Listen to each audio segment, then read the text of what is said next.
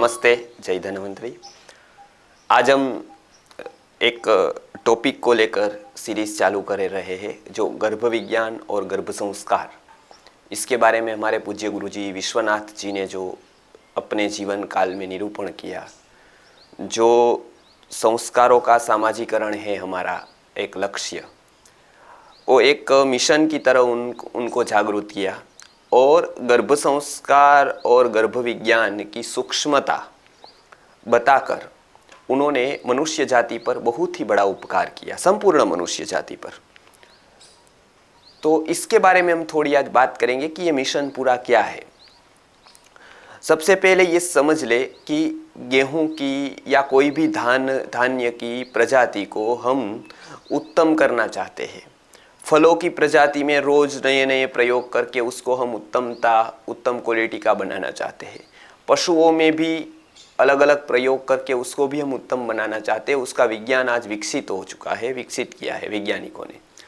लेकिन एक ऐसा विज्ञान है जो मनुष्य जाति को उत्तमता प्रदान कर सकता है।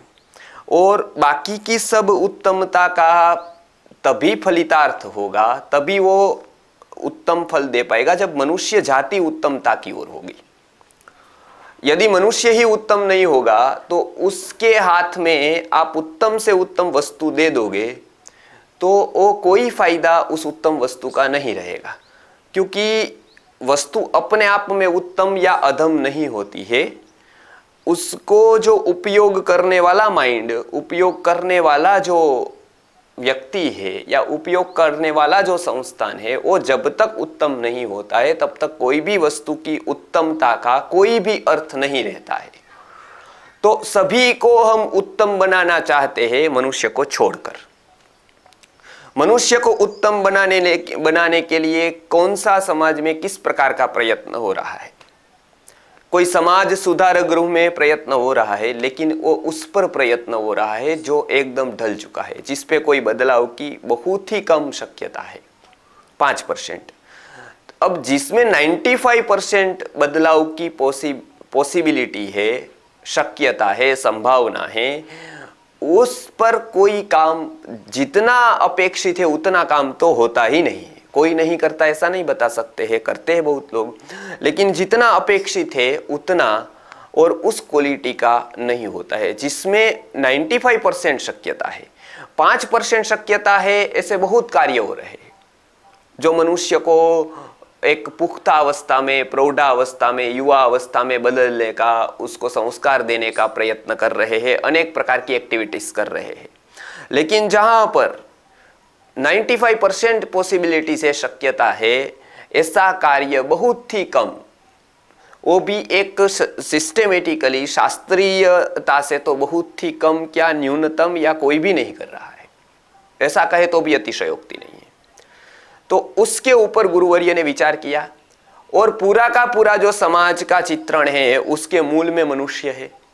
और वो मनुष्य का निर्माण जहाँ से होता है वो गर्भ है। उस, उनके ऊपर गुरुवर्य ने बहुत ही अपने सालों के चिंतन के बाद अपना एक दर्शन दिया। उसको दो भाग में बांटा। इसको समझना प्रथम स्तर है, जिसको हम गर्भ विज्ञान कहते हैं। समझकर उसका आचरण करना, उसमें कही हुई बातों का व्यवहारीकरण करना, उसको हम गर्भ संस्कार कहते हैं। गर्भ संस्कार में केवल पूजा पाठ विधि विधान कर्मकांड नहीं है केवल। वो कुछ संस्कार ऐसे हैं जिसमें अवश्य मंत्रों का विनियोग है, उपयोग है, वो हम कराते हैं शास्त्रीय पद्धति से, निस्वार्थ भाव से। लेकिन इतने में ही गर्भ संस्कार नहीं है कि चलो चार संस्कार करवा दिए हमने। कहीं पर जाकर कुछ रिचुअल्स में जो आता है वो कर्मकांड करा दिया तो हमने गर्भ संस्कार कर लिया। इतना ही मर्यादित अर्थ नहीं है। गर्भ विज्ञान अर्थात पूरे गर्भ को के सिस्टम को, व्यवस्था को समझना, उसको हम नाम देंगे गर्भ विज्ञान गर्भस्य विशेषण ज्ञानम। सामान्य रूप से तो सभी को ज्ञान है, विशेषण ज्ञानम गर्भ विज्ञानम ऐसा संस्कृत में अर्थ होता है। तो ये एक हो गया ज्ञान का पक्ष। गर्भ संस्कार अर्थात संस्क्रियते। सम धातु के उपसर्ग पूर्वक क्रु धातु है यहाँ पर, अर्थात उसका अर्थ होता है क्रियान्वयन करना अप्लाई करना। तो उसको जब हम एप्लीकेशन में लाएँगे, तब उसको हम कहेंगे संस्कार। तो वो मंत्र से भी हो सकता है, औषधियों भी से, औषधि से भी हो सकता है, आहार से भी हो सकता है, जो भी क्रियान्वयन आप हम लोग करते हैं, उसको हम संस्कार कहेंगे। क्योंकि वो सम्यक कृति है। वो हम कर रहे हैं गर्भ के पंचकोशीय, मनुष्य के पंचकोशीय विकास के लिए याति पूर्णता की ओर। वो मनुष्य बढ़ सके वो मनुष्य जा सके। इसीलिए हम प्रयत्न पहले से ही करते हैं, जब वो गर्भ में आता है या आने वाला है तब से। तो ये सबसे बड़ी आध्यात्मिक प्रवृत्ति है। क्यों? क्योंकि ये उत्तम फल देती है। जब मनुष्य आया ही नहीं है तब से ही आप शुरुआत करेंगे, उसके जैसा मनुष्य का परिवर्तन और कुछ हो ही नहीं सकता है, जो बिगड़ने से पहले परिवर्तन शुरू हो जाता है। बाकी के जो महापुरुष हुए या बहुत सारे सोशल एक्टिविस्ट हुए रिफॉर्मर्स हुए, उन्होंने बाद में शुरू किया काम। और आयुर्वेद या दर्शन शास्त्र या वेद बताता है कि वो आए तब, उससे पहले ही आप काम चालू कर दो तो बहुत ही उत्तम परिणाम मिलेगा। तो ये ये एक कोई सामान्य प्रवृत्ति नहीं है। ये कोई एक प्रोफेशन नहीं है। ये व्यवसाय नहीं है। ये एक आध्यात्मिक प्रवृत्ति है। एक आध्यात्मिक साधना है। जिससे जिसके माध्यम से उत्तम मनुष्य का, आध्यात्मिक मनुष्यता का, दैवी चेतनाओं का आविष्करण हम कर सकते हैं। ये पूज्य गुरुवर्य ने बताया।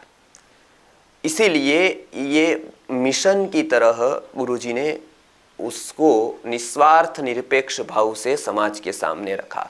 इसका एक पूरा दर्शन दिया। केवल ये एक क्लिनिक खोलकर कुछ दवाइयाँ दे दी गर्भ की और उसके बाद कुछ काढ़ा दे दिया।